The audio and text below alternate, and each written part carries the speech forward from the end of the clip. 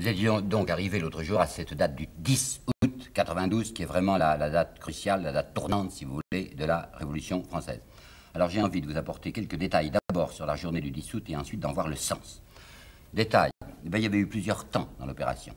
D'abord, quand on avait décidé, dans la nuit du 9 au 10 août, on, c'est ce fameux comité insurrectionnel des gens du quatrième État, des gens qui n'ont rien à voir avec la politique, mais qui veulent précisément avoir à s'en occuper, on avait décidé qu'il fallait essayer d'abord d'empêcher la garde nationale, qui est requise pour la défense des Tuileries, d'organiser une défense sérieuse. Le chef de la garde nationale, c'était nommé Mandat. C'était à tour de rôle qu'il y avait un général de la garde nationale, c'était Mandat.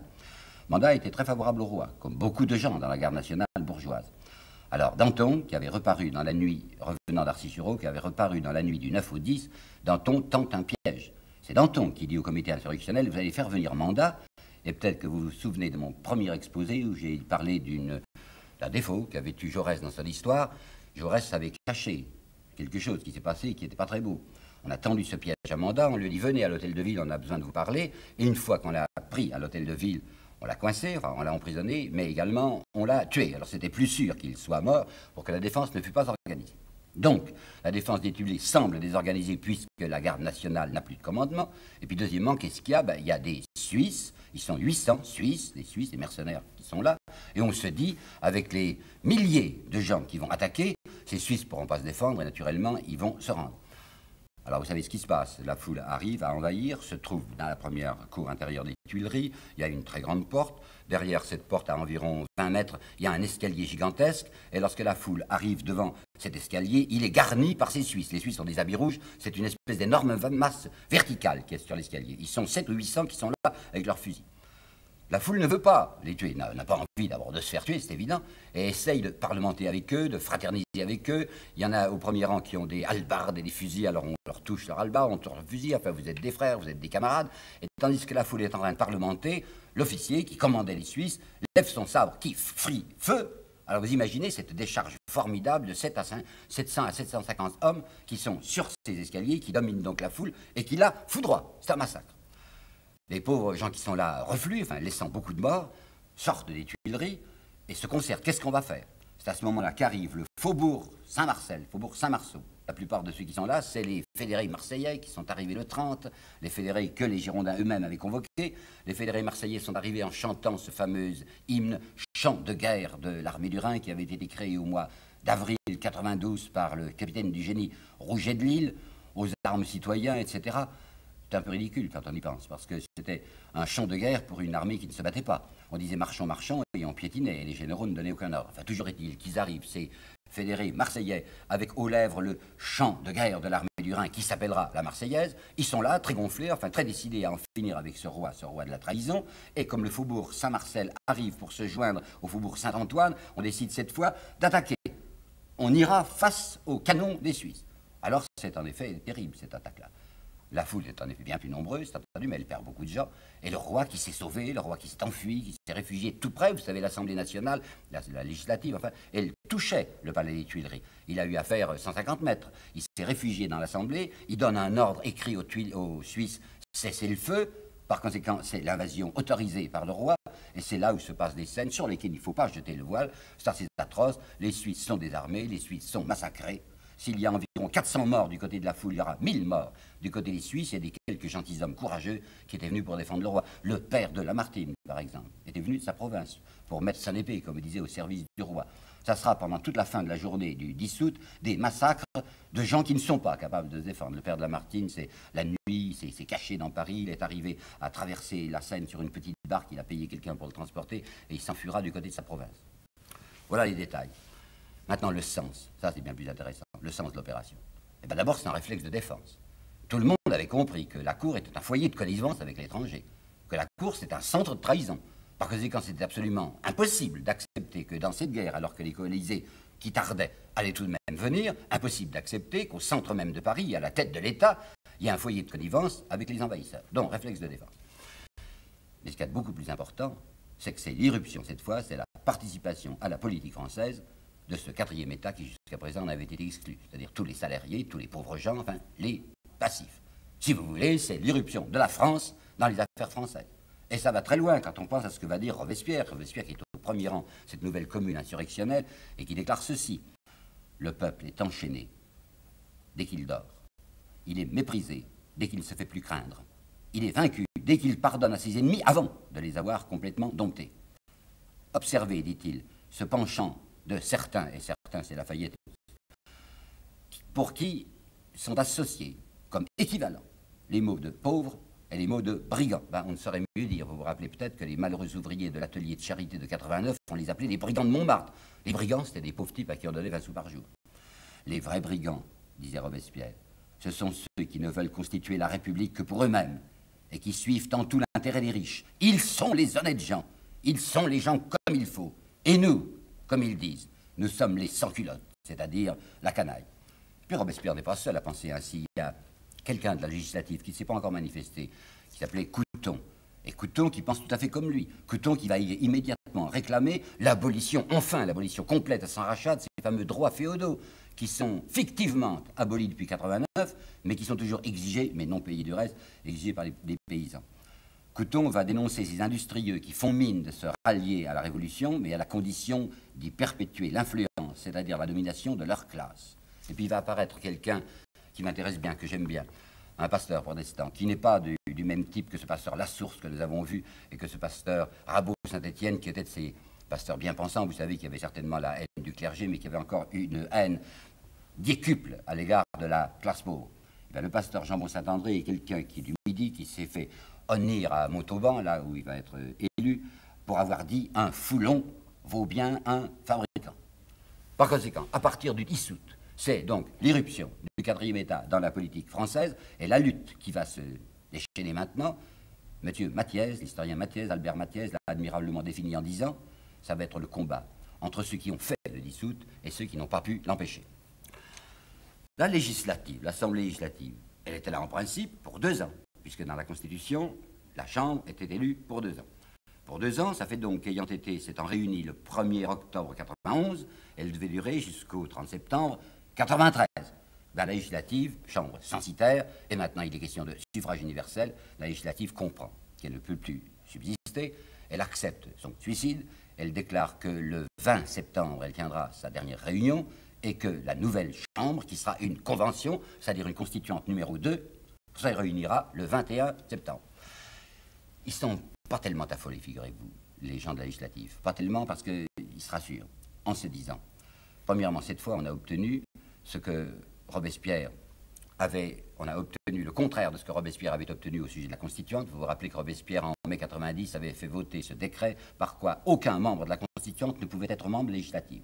Tandis que cette fois, on a décidé que les membres de la législative pouvaient se représenter aux élections. Alors ils se disent, avec nos influences locales, puisque nous sommes les notables, puisque nous sommes les gens considérables de nos, provinces, il y a bien des chances qu'on y arrive. Et puis deuxièmement, une chose dont je ne vous ai pas parlé encore et qui est importante, le petit nombre des votants en France. Il y a très peu de gens qui votent, figurez-vous. On pense toujours que la Révolution française est un immense mouvement, avec des multitudes en mouvement, mais ce n'est pas vrai. Aux élections des, des États généraux, figurez-vous que dans Paris, il y avait tout de même 42 000 ou 45 000 types qui avaient le droit de vote. 42 000, 45 000 sur la population de 700 000 habitants, c'est entendu. Mais même sur ces 40 000, il n'y en avait que 11 000 qui avaient voté. Et toutes les fois qu'on faisait une élection, par exemple pour celle du maire, Pétion, en novembre, c'est le 14 novembre 91, toujours le même chiffre. Il y a environ 10 000 personnes qui votent. Il y a un troupeau, il y a un immense troupeau aux yeux bandés de gens qui disent mais la politique c'est pas pour nous, enfin c'est au-dessus de nous. Par conséquent, même avec le suffrage universel, les gens de la législative se rassurent en se disant après tout, nous avons affaire à ces masses à ces bêtes de somme de la province, à ces journaliers, à ces paysans à qui on va remettre entre les mains un bulletin de vote, ils ne sauront pas quoi en faire. Donc on va s'en tirer. Donc les notables sont là. En principe, il n'y aura plus besoin d'être propriétaire foncier pour devenir député. Mais en fait, on va y arriver. Alors qu'est-ce qu'ils font, les gens de la législative, avant de se séparer? Ben, Ils se prononcent sur le sort du roi sans se prononcer sur le régime. Notez bien que ce n'est pas la législative qui va décider, c'est la République. Le roi, il est suspendu, le roi, il est en prison, c'est pas exactement en prison, il est en résidence surveillée, on l'a envoyé au temple, vous savez, le temple, qu'est-ce que c'était? C'était pas une prison, c'était une possession du duc d'Artois. Il y avait, enfin, si vous voulez, il y avait trois grandes possessions princières à Paris. Il y avait le Luxembourg qui appartenait à Provence. Provence, c'est le, futur, le frère du roi, c'est le futur Louis XVIII. Il y avait Artois, le comte d'Artois, qui possédait justement le temple, il y avait le duc d'Artois qui avait le palais royal. Alors le temple, c'est le château du comte d'Artois. C'est là qu'on va mettre le roi. Légende, image d'Épinal encore. On dit c'est épouvantable, ce, malheureux roi qui est enfermé au temple avec sa famille. Mais attention, il faut voir les dispositions. On lui a voté, il n'y a plus de liste civile, naturellement. On sait pourquoi il utilisait sa liste civile. Il l'utilisait pour acheter des gens comme Danton. Alors plus de liste civile, il n'est plus roi, il est suspendu. Mais savez-vous ce qu'on lui donne pour vivre au temple? On lui donne 500 000 francs. Et il faut multiplier par 4 pour avoir le pouvoir d'achat d'aujourd'hui. Par conséquent, ce citoyen qui n'est qu'un simple citoyen, qui n'est plus le roi, il a une disponibilité assez sympathique. il a quelque chose comme 2 millions d'aujourd'hui. Et il est au temple, très bien traité. Il y a trois matelas dans son lit. Sa table, car il est extrêmement gourmand, sa table est alimentée de la manière la plus princière. Enfin, il n'est pas malheureux au temple, sinon qu'il est en résidence surveillée. Il faut un gouvernement, un gouvernement provisoire, en attendant ce que va décider la, Convention. Alors, ce gouvernement provisoire qu'on va appeler Conseil exécutif provisoire, ce gouvernement, naturellement, va comprendre les Girondins qui avaient été exclus le 12 août. Vous vous rappelez peut-être qu'ils avaient été furieux, qu'ils avaient tenté la journée du... qui avait été exclu, pardonnez-moi, le 12 juin. Ils avaient été furieux, ils avaient tenté la journée du 20 juin pour se faire rétablir, le roi n'avait pas marché, maintenant qu'il n'y a plus de roi, ils reprennent le pouvoir. Alors, on revoit paraître Roland, on voit Servant, il y a Dumouriez qui, qui maintenant a demandé un commandement, et ces Girondins vont s'adjoindre un membre de plus qui est Danton. Ah, ça, c'est très intéressant qu'ils aient choisi Danton. Les gens de la législative sont furieux contre la commune. La commune, c'est ce gouvernement insurrectionnel. Ce gouvernement qui n'est pas encore légitimé par, par un vote. Des gens qui sont là sans pouvoir. Alors, ils ont besoin, tout de même, de s'entendre avec ces gens-là. Et comme Danton est un des membres de la commune, on va choisir Danton. Oh, surtout pas Robespierre. Mais on va choisir Danton pour l'annexer à ce nouveau gouvernement provisoire. Danton est poussé par Condorcet. Il a été recommandé par le marquis de Condorcet lequel a prononcé deux phrases que je tiens à vous dire. Condorcet, parlant de la révolution qui vient de s'accomplir, du 10 août, a dit Il y a des instruments méprisables d'une révolution nécessaire. Qu'est-ce que c'est les instruments méprisables? Ben, C'est la petite plèbe, enfin, c'est les actifs. Et il a dit, d'autre part, avec Danton, avec le citoyen Danton, il y a toujours moyen de s'arranger, parce qu'il est toujours facile, ceci est entre guillemets, hein, il est toujours facile de le rattacher aux bons principes. Qu'est-ce que c'est que les bons principes? C'est la défense de la propriété. On sait que Danton est un homme vénal, on sait que Danton, tout petit bourgeois au début de la Révolution, est maintenant un grand bourgeois, on sait qu'il a sa gentilhommière de Arcis-sur-Aube, alors on se dit, celui-là qui fait mine d'être un homme d'extrême gauche, nous allons le prendre au gouvernement, précisément parce qu'il nous aidera à lutter contre un homme de gauche pour de bon, qui s'appelle Robespierre. Et puis on va faire à la législative ce qu'on était là pour faire. Ils avaient deux idées, vous savez, ils voulaient faire la guerre, ils voulaient faire la guerre aux prêtres. Alors quelqu'un qui surgit maintenant et qui aura une grosse importance de plus en plus, quelqu'un qui s'appelle Cambon, fait prendre, à peine la législative va-t-elle se dissoudre, fait prendre un nouvel arrêté contre les prêtres, l'arrêté du 26 août, disant qu'ils seront susceptibles de déportation dans les 15 jours s'ils ne se rallient pas à un nouveau serment. Il est très appuyé, Cambon. Cambon, c'est un industriel. C'est un homme qui avait créé en 1774 la société Cambon-Fils dans le Languedoc. C'est un grand industriel de tissage. Cambon est appuyé par quelqu'un à cette horrible commune, cette exécrable commune. Il est appuyé par Manuel. Manuel, c'était le procureur, un ami de Pétion. Et Manuel, il se spécialise dans la diversion anticléricale. C'est Manuel qui va dire interdiction aux prêtres de porter leur costume en dehors des églises, interdiction de faire des processions, interdiction aux religieuses d'entrer maintenant dans les hôpitaux, enfin on s'arrangera, on n'a pas besoin de ces sœurs hospitalières, et c'est aussi Manuel qui va inventer d'interdire en 92 la messe de minuit. Alors ça, c'est un ami de Cambon. Mais l'exécrable commune a obtenu tout de même le 17 août quelque chose qui fait beaucoup froncer les sourcils aux gens du pouvoir, la création d'un tribunal spécial. Tout à l'heure, plus tard, on l'appellera tribunal révolutionnaire, après qu'il aura été un instant supprimé, comme vous verrez. Le 17 août, on a créé sur la demande de la commune et avec l'appui bienveillant de Danton, un tribunal qu'on appelle le tribunal criminel, ou encore, si vous voulez, le tribunal spécial, et qui est là pourquoi? Qui est là pour juger précisément ceux qui ont connivé avec le roi et avec l'étranger. Et alors la guerre? Ben, La guerre, ça va mal. Quoique les coalisés soient très mous, puisque c'est uniquement le 19 août, vous entendez, le 19 août, alors que la guerre doit avoir commencé en principe le, 20 avril, c'est le 19 août que les Prussiens pénètrent sur le sol français. Et ce même 19 août, il se passe quelque chose de capital, c'est que Lafayette, Lafayette, général, généralissime d'une des trois armées françaises, Lafayette ce jour-là trahit. Oh, c'était facile de voir puisque depuis le 18 mai, il était en rapport avec les étrangers. Il avait promis de ne pas se battre contre les coalisés, contre les envahisseurs, parce qu'il voulait rétablir l'ordre à Paris. Maintenant que le roi, son cher roi, est tombé, maintenant il va essayer d'entraîner ses troupes contre Paris. Rien à faire. Les volontaires qui sont là ne veulent pas le suivre. Alors le 19 août, le jour même où les Prussiens entrent sur le sol national, le général Lafayette passe à l'ennemi. On ne le dit guère aujourd'hui dans les histoires, vous savez. J'ai regardé dans, dans, des, dictionnaires. On dit que Lafayette a cessé de combattre à partir du 19 août. Mais il est passé dans les rangs adverses. Et comme le roi ne l'aimait pas, comme la reine le détestait, il a une très désagréable surprise, Lafayette. Il pensait qu'on allait l'accueillir chez les coalisés à bras ouverts, pas du tout, on allait le prendre en prison, et jusqu'à la fin de la Révolution, il sera en prison en Autriche. N'empêche que les Allemands et les Prussiens avancent. Le 23, le 23 août, ils sont devant Longwy, et qu'ils prennent rapidement, la ville ne se défend qu'à peine, et les voilà le 30 août devant Verdun, et ça, Verdun, s'ils le prennent, c'est la Champagne ouverte, c'est Paris qui va être investi. Alors là, regardons bien, regardons bien le rôle de Danton. La légende de Danton, c'est ceci, c'est l'âme de la résistance. C'est un mot que j'ai employé déjà à son sujet. C'est celui qui va prononcer le 28 août un discours tonitruant où il appellera tous les Français à se précipiter en masse vers la frontière. Et c'est le même qui, le 2 septembre, le 2 septembre, va prononcer les phrases célèbres de l'audace, encore de l'audace, toujours de l'audace, et la France sera sauvée. Voilà le personnage apparent de Danton. Mais il y a un personnage occulte. Le même Danton, qui prend cette attitude ultranationale, qui est l'homme du patriotisme, qui demande à tout le monde de se précipiter vers la frontière, Danton est un homme qui est avant tout pour la défense de la propriété et qui se dit plus je ferai partir de jeunes Français, de prolétaires, d'illettrés, plus je les ferai partir sur la frontière, plus ça fera une purge dans Paris, parce que c'est quand les éléments les plus dangereux pour la stabilité sociale vont partir du côté de la frontière. Et qu'est-ce qu'il fait parallèlement? Il a une combinaison secrète avec Pétion. Pétion, c'était le maire.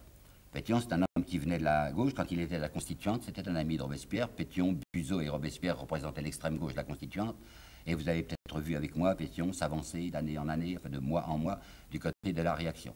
Le comte d'Entraigue, nous savons ça depuis le livre de Jacqueline Chaumier, le réseau d'Entraigue à la contre-révolution. Le comte d'Entraigue écoute et note les propos que tient le maire de Paris, Pétion. Il est toujours maire de Paris, malgré la commune insurrectionnelle qui a, bien voulu le conserver, parce qu'il est resté passif pendant le 10 août.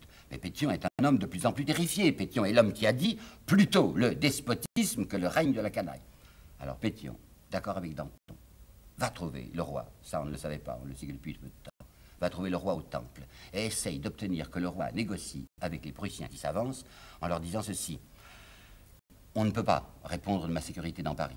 Il y a ce fameux quatrième État qui est maintenant lancé dans l'arène politique. Il y a cette commune insurrectionnelle. Par conséquent, si les Prussiens approchent trop près, approchent trop près de Paris, la législative elle-même, le conseil exécutif lui-même n'aura pas le pouvoir de protéger ma vie. Le temple va être envahi, on va me tuer, moi et mes enfants.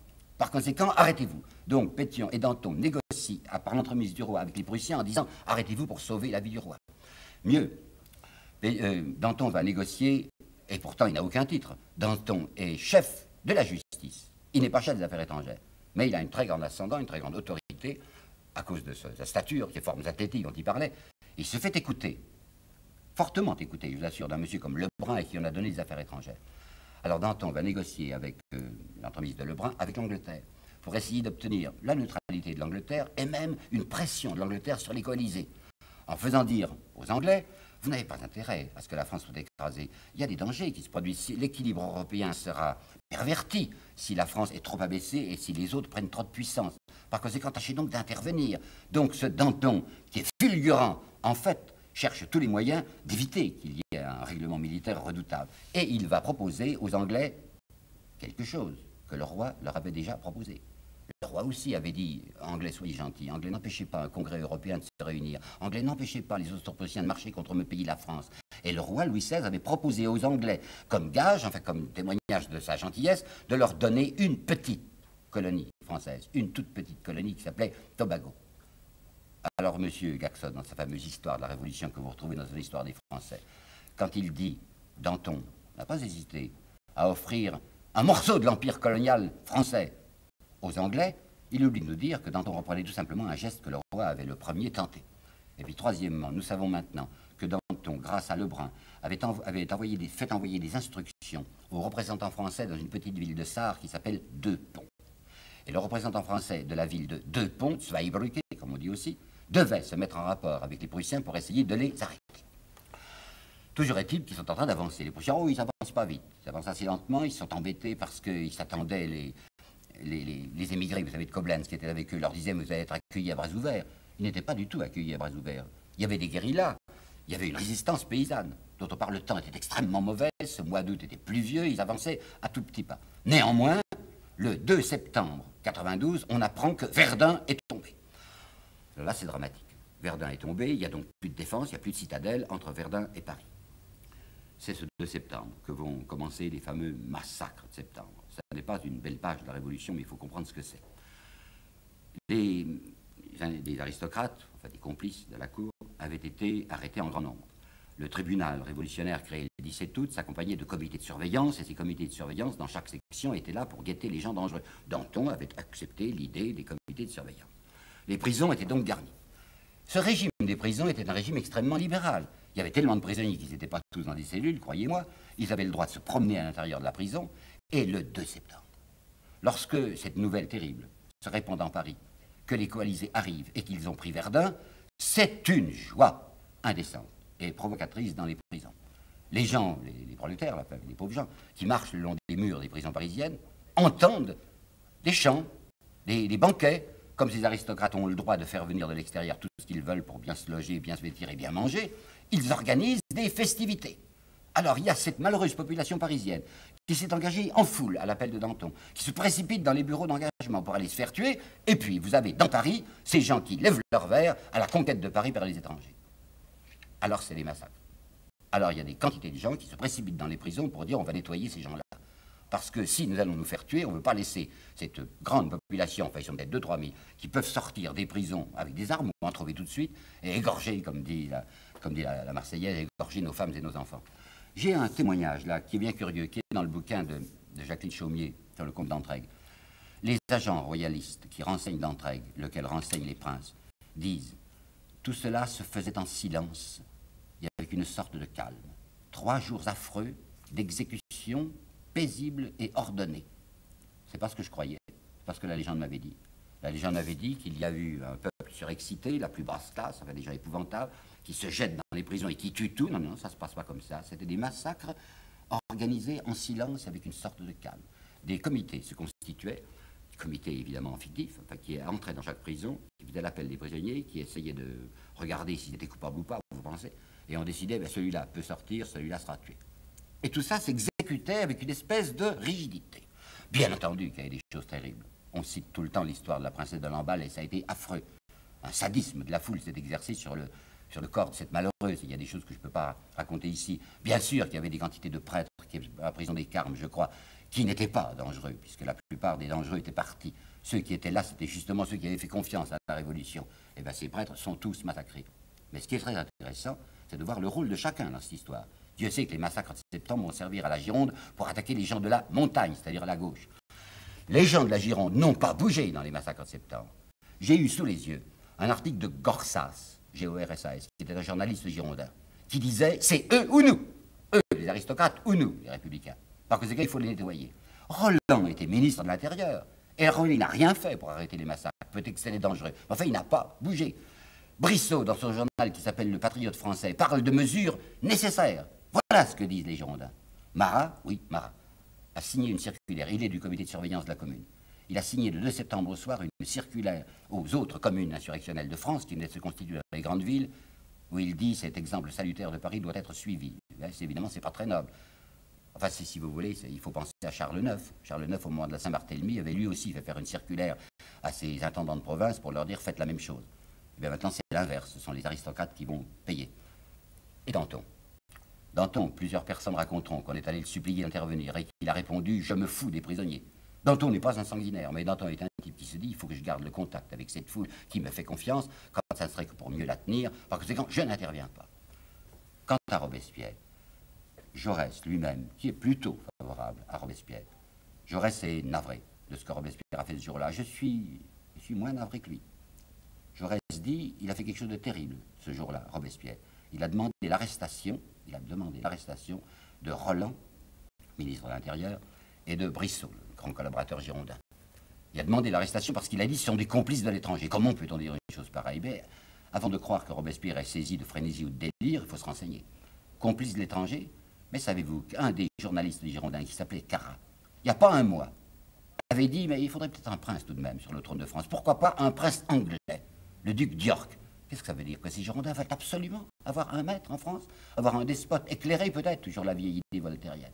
Il faut savoir ce même Garat, trois jours avant, c'était pas de chance, trois jours avant le manifeste de Brunswick, ce manifeste où on annonçait l'égorgement aux Parisiens, dans son journal, Gorsas, Cara avait dit Brunswick, c'est un, général plein de lumière, c'est un général qui a eu Voltaire, c'est un général qui est pas mal orienté du côté des idées révolutionnaires. ça paraissait tout de même stupéfiant. Il savait également, Robespierre, que Pétion avait dit, et ça nous le savons également par les réseaux d'entrailles, avait dit il faudrait faire venir un prince étranger sur le trône français, un prince protestant de préférence. Et je suis convaincu que Robespierre savait ce que négociait en douze Danton avec euh, les mystères que nous avions à Deux Ponts, soit ébruqué, donc négociation secrète avec l'ennemi. Robespierre s'était dit, il y a un grand mouvement national dans Paris à ce moment-là, il faut en profiter pour nous débarrasser de ces gens qui sont volontairement ou involontairement des collaborateurs de l'ennemi. Sommes le 2 septembre, les massacres se terminent le 6 septembre, il y en aura eu encore un atroce à, Versailles où de malheureux types qui n'en pouvaient rien. Le duc de Cossé-Brissac, par exemple, va payer de sa vie le fait d'avoir été le chef de la garde constitutionnelle, et nous arrivons au 20 septembre, qui est une date bien importante puisqu'elle est à la fois la date du dernier jour de l'Assemblée législative et la date de Valmy. Je vais finir sur Valmy.